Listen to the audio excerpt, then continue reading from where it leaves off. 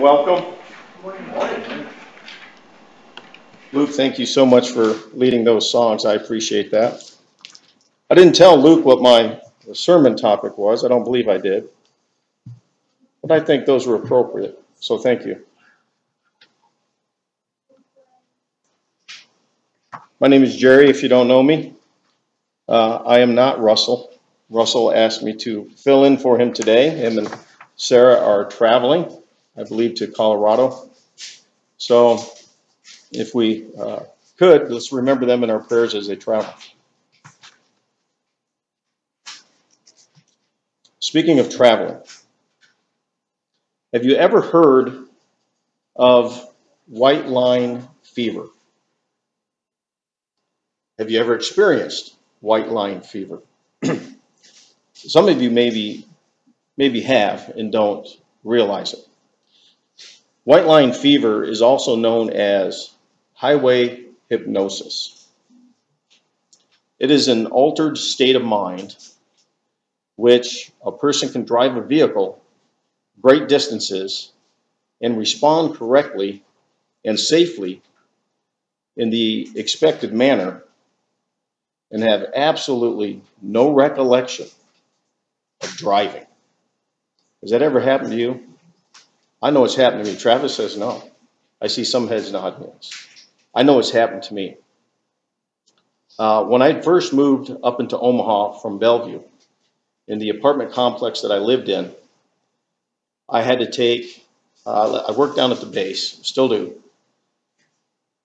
I had to take I 680 to I 80 to Highway 75 in order to get to the base.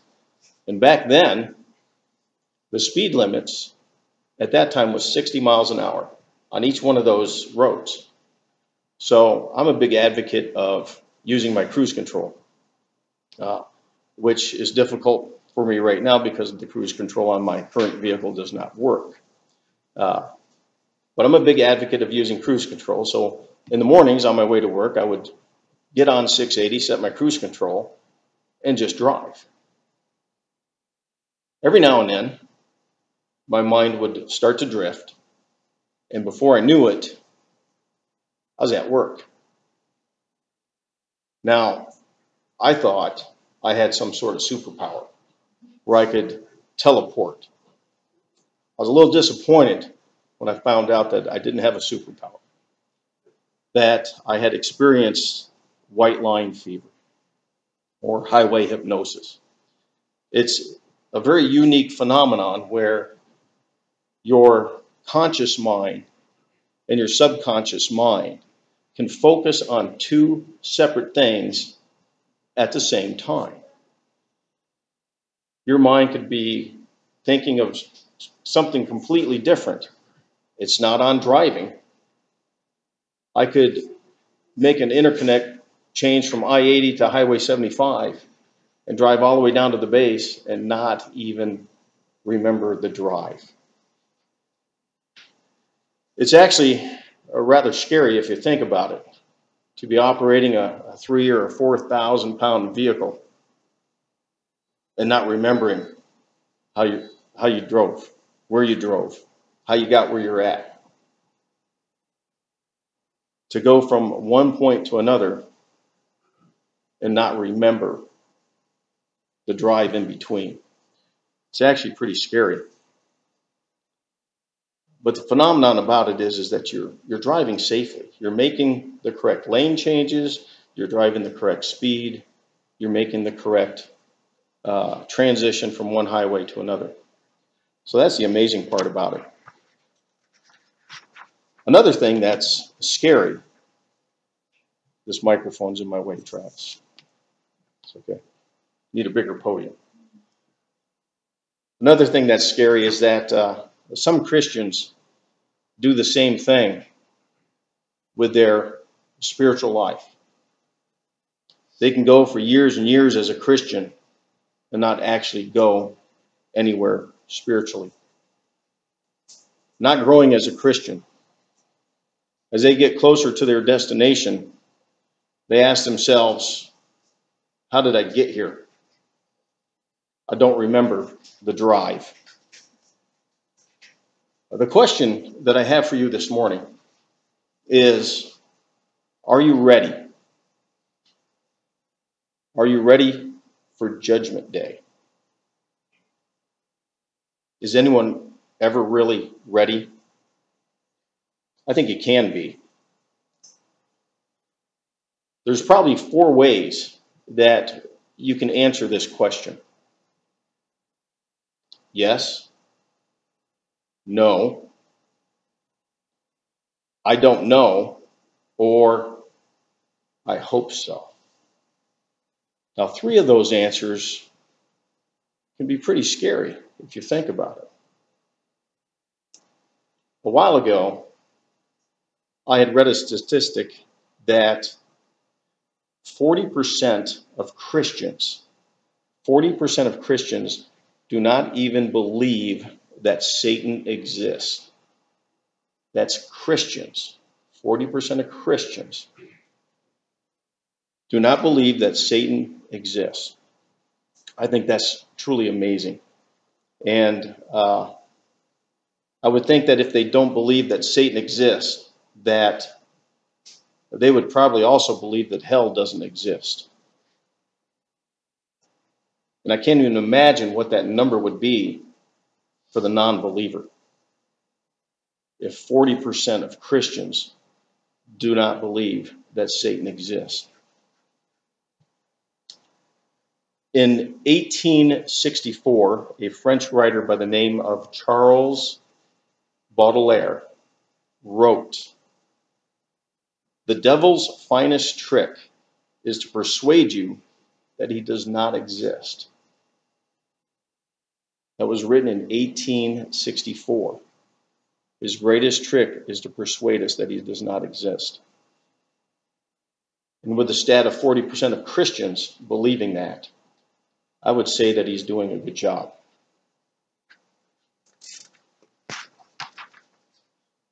Back to my question Are you ready for Judgment Day? We're going to look at some scripture this morning. We're going to find some yeses, some no's, and some I don't knows.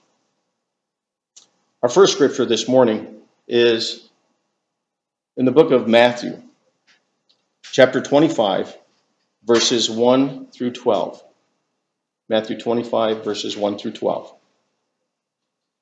This is the parable of the ten virgins.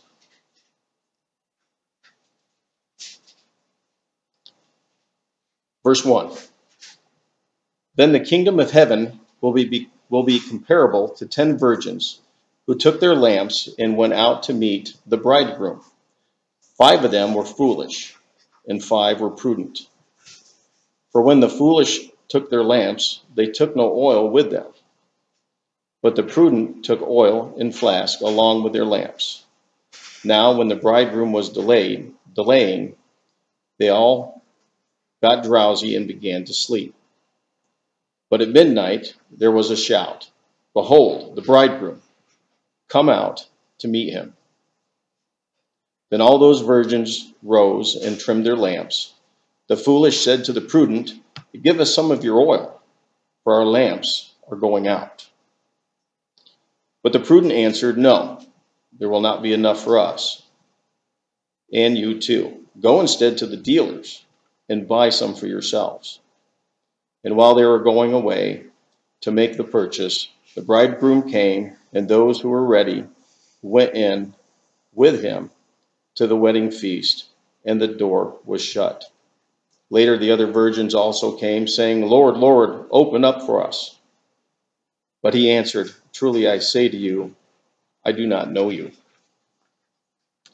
In this parable, the kingdom of heaven is compared to a wedding feast where the bridegroom is Christ and the ten virgins the invited guests are believing Christians.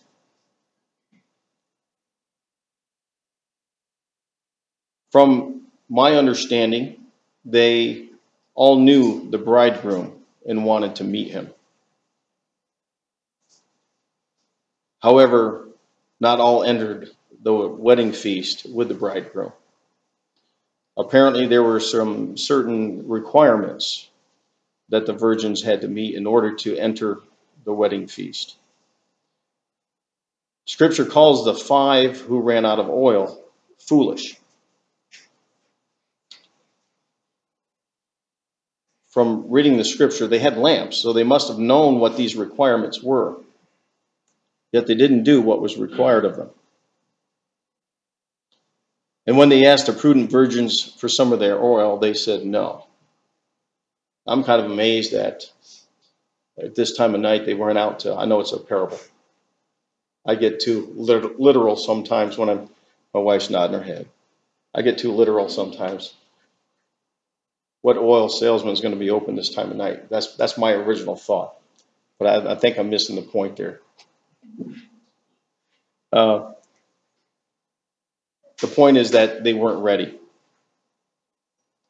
Scripture tells us that there are things required of us if we want or have the desire to go to heaven. These are things that we must do on our own. And from this parable, we see that no one can do it for us. We have to do it on our own. Our next scripture is going to be in the book of Revelation, chapter 3,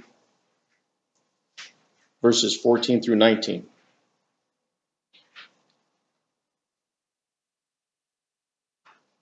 Chapter 3, verses 14 through 19. To the angel of the church of Laodicea, write the Amen and the faithful and true witness, the beginning of the creation of God, says this I know your deeds, that you are neither cold nor hot. I wish that you were cold or hot. So, because you are lukewarm and neither hot nor cold, I will spit you out of my mouth. Because you say, I am rich, I have become wealthy, and I have need of nothing. And you do not know that you are wretched and miserable and poor and blind and naked. Those whom I love, I reprove and discipline. Therefore, be zealous and repent. In verse 15, the Lord tells this church, I know your deeds. And they are, in verse 16, they're lukewarm. In verse 17, it tells us that it was because of their wealth that they had a need for nothing. That was a reason that they were lukewarm in their deeds. They were wealthy, so they figured that they didn't have to do anything. They became lazy, my words. They became lazy and content in their wealth, and that affected their deeds.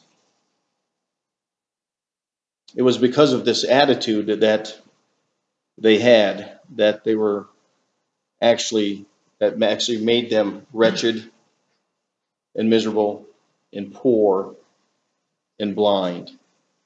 Emphasis on blind and naked. Their wealth blinded them into thinking that they were okay with God and that God was okay with them. But apparently, he wasn't. Now, I'm not saying that wealth is a bad thing. I know several wealthy people that do a lot of good with their money. So it's the attitude that we have with that wealth. Our last scripture that we're going to look at this morning is in the book of Luke, chapter 10, verses 30 through 37. This is the parable, the story of the Good Samaritan.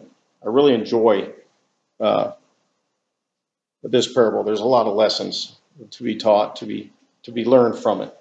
We're actually going to start in verse 25. And the lawyer stood up and put him to the test, saying, Teacher, what shall I do to inherit eternal life. Verse 30 Jesus replied and said, A man was going down from Jerusalem to Jericho and fell among robbers, and they stripped him and beat him and went away, leaving him half dead. And by chance a priest was going down on that road, and when he saw him, he passed by on the other side. Likewise, a Levite also, when he came to the place and saw him, passed by on the other side. But a Samaritan who was on a journey came upon him, and when he saw him, he felt compassion, and came to him and bandaged up his wounds, pouring oil and wine on them, and he put him and he put him on his own beast, and brought him to an inn, and took care of him. On the next day he took out two denarii, and gave them to the innkeeper, and said, Take care of him and whatever more you spend, I will return and repay you.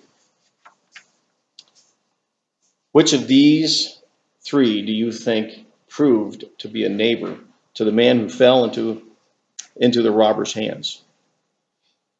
And he said, The one who showed mercy to him. Then Jesus said, Go and do the same. As I said, there's a lot of, a lot of lessons in this one story but I'd like to focus on the priest and the Levite. Now, Scripture doesn't come out and tell us why these two didn't stop to help the injured man. You would have thought that if anyone would have stopped, it would have been these two. The two who were men of God, two spiritual men, two men who had just gotten done teaching and preaching and or working at the synagogue and they were on their way home. They really didn't have any real excuse for not stopping, but they chose not to. Now, they didn't have to go to the extent that the Samaritan did.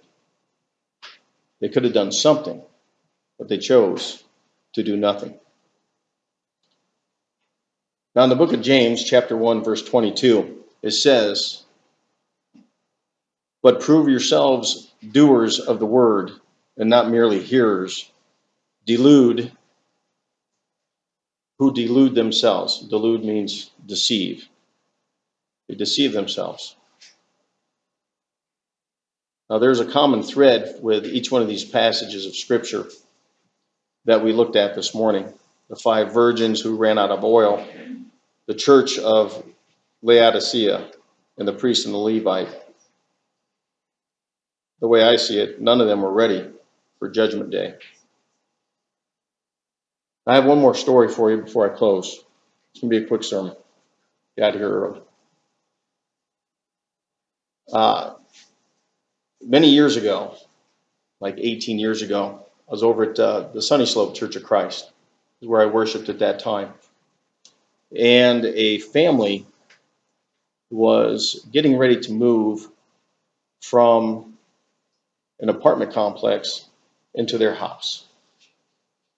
And uh, as custom has it, you ask the congregation for uh, assistance, and they did. So the move was supposed to be on a Saturday. That previous Wednesday night, I was there for Bible class, and I was talking to uh, one of the older gentlemen that were there. And I asked him, I said, Are you going to go and, and help them move on Saturday? And he kind of replied with a chuckle and he said, No, I think I'd just be in the way. And I told him, I said, No, I said, You could be you know, even if you were to go and just hold the door, you'd be helpful. Well, Saturday morning came, and he was there. He showed up to help this family move.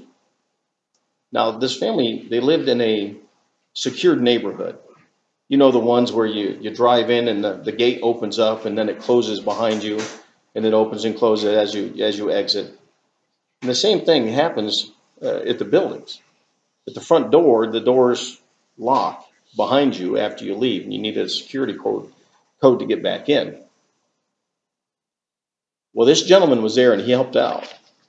He didn't carry a single box that day, but he did hold the door. And I was grateful that he did. Because every time we walked out with a box to go to the truck, the door closed behind us and it locked us out. I was thankful and grateful that he was there to let us back in. Even though he didn't carry a single box that day, he was probably the greatest help of anyone that was there. And I think it's amazing that just four days prior to that, he thought he'd be in the way. And it turned out that he helped out the most just by holding a door. Now, if you ever helped anybody move before, you know that if someone's holding a door, it's a great help. Our deeds don't have to be spectacular or grand. They just need to be helpful. If you feel that your spiritual life has been on a cruise control, you need to regain control. As for my question, are you ready for Judgment Day?